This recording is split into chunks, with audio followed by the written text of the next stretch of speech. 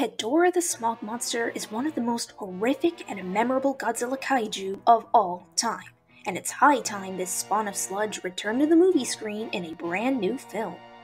Whether through the legendary Monsterverse or through Toho Studios, and whether in his own standalone film or as Godzilla's adversary, Hedorah can absolutely thrive in a fresh cinematic rendering as well as he thrives on our mistakes.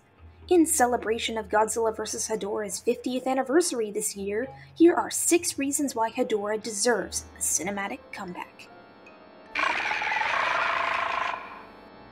Powers Hedorah is an organism unlike any other in the Godzilla universe. Before Destoroyah, there was the Smog Monster, a living entity composed of human waste and pollution, whose feeding on our faults caused it to grow into an existence untouchable by most things man had to offer, and even the best Godzilla had to offer, too. Its immunity to conventional military weaponry and the lackluster effect Godzilla's nuclear beam had on its body strongly displays Hedorah's most fundamental power his invulnerability.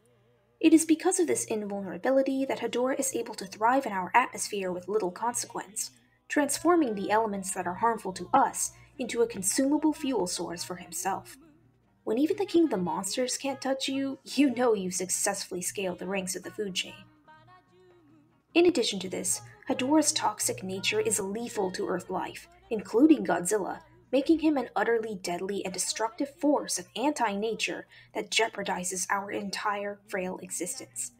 His very body is corrosive, withering away everything it touches, and his expulsion of sulfuric acid mist creates such toxicity that humans are reduced to skeletons in its wake. Just not cats, though. Must be nice to be a cat. Although Hedorah does have one distinct weakness, that being dehydration, it was only through the combined efforts of Godzilla and humanity that this weakness was able to be exploited. Imagine if Godzilla didn't exist in this movie.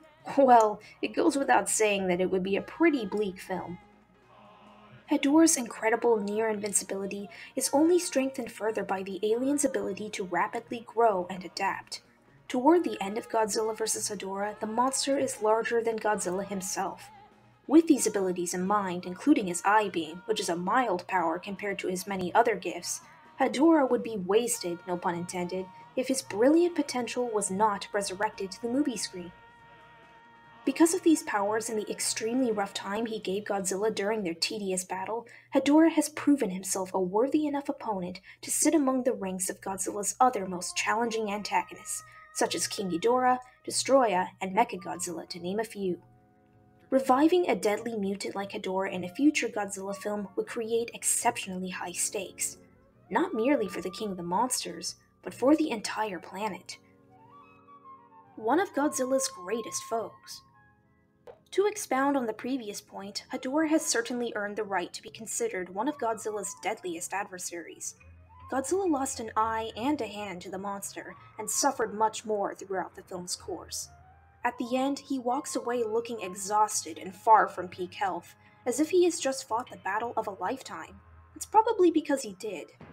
With this in mind, bringing Hedorah back as the next big bad in a new movie will, as mentioned in the first point, raise the stakes it will reassert the deadliness of excessive pollution and how not even the strongest organisms on Earth can ultimately withstand it. Hmm, maybe Godzilla is a metaphor for humanity? We think we can sustain a defiled existence because we are at the top of everything, but we just can't when all is said and done. In addition to creating a tense and terrifying movie, returning Hedorah to cinema will honor an old monster whose simple design and origins far underestimate his inherent and hideous power. Hedorah, as I see it, is just as vital a kaiju as King Ghidorah, Mechagodzilla, and all the other great evils of the ages. Continued relevance of pollution. Despite technological advancements made in the present day, pollution, excessive waste, and deforestation, among other things, are still relevant issues, and probably always will be. The environment is a living being in itself, and requires careful hands to cultivate the land and care for what needs protecting within it. Godzilla vs. Hedorah sought to condemn mankind's reckless planetary abuse back in the 1970s, but in the 21st century, our world's problems are as timeless as ever. Bringing back the smog monster would help enforce environmental issues again but in an entertaining and artistic way that can be understood by a wide audience. A modern Hedorah film could present the monster as a genetically engineered microorganism that began feeding and growing from pollution, as an example. Or it could re enlist the plot of the first movie with the smog monster hailing from a dark wasteland beyond the stars. There are many intriguing ways to make such a story work, and it is always worth returning to an important concept that is still relevant today. Plausibility. The most fascinating thing about Hedorah is the fact that maybe, just maybe, this creature could potentially really exist in our world. Although extraterrestrial life is not entirely proven, it is also not disproven, making for an intriguing what if scenario that is explored in Godzilla vs. Hedorah. What if an alien one day descended on our world and began feeding on our waste, and then mutated into a monster? What if something horrific was biomanufactured, like some form of bacteria or fungus that thrived on garbage and decay? With the possibilities space exploration and genetic engineering have opened up, the stars are the limit. No pun intended, Mr. Alien Hedorah. In the Monsterverse case, a Hedorah creation would not be unusual. The legendary trilogy does love its grand sci fi. Due to Hedorah's plausible existence, not only is the monster made more horrifying because he could actually happen, but his origins would not be too difficult to establish in any universe, especially not the Monsterverse.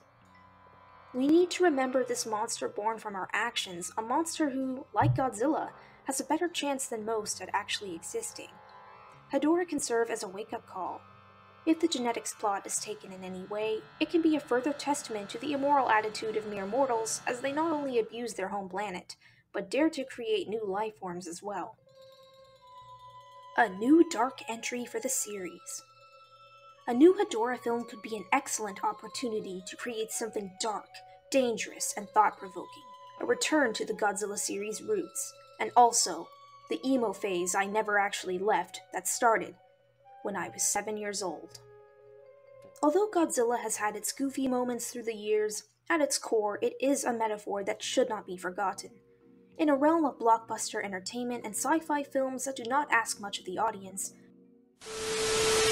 a new Hedorah movie could help rejuvenate the darker aspects of this franchise.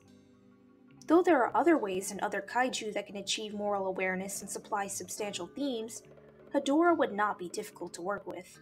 And, thanks to the monster's horrific abilities and what he represents, he just might be the perfect creature for the job when it comes to reaching the audience.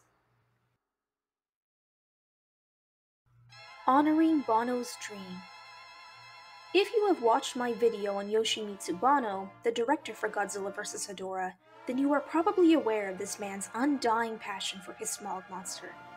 Through over four decades, he attempted to return Hedorah to the screen in some form or fashion, and though the kaiju received a cameo in Godzilla Final Wars, his treatment was rather dismissive, and that's me speaking lightly. In order to best honor the director who brought the most unsettling Godzilla movie to life, Hedorah deserves a full cinematic return. For all the reasons mentioned beforehand, this monster is a fit for rebooting, to fulfill Mr. Banno's dream with a dark and tasteful film starring Hedorah would make for an honorary movie and something that celebrates Banno's achievements and attempts since directing Godzilla vs. Hedorah. We have Yoshimitsu Banno to thank for the existence of the Monsterverse. Why not make him the ultimate tribute with a movie involving his favorite monster? When the dreamer dies, the dream itself does not have to perish with them. Art will resound for generations thank you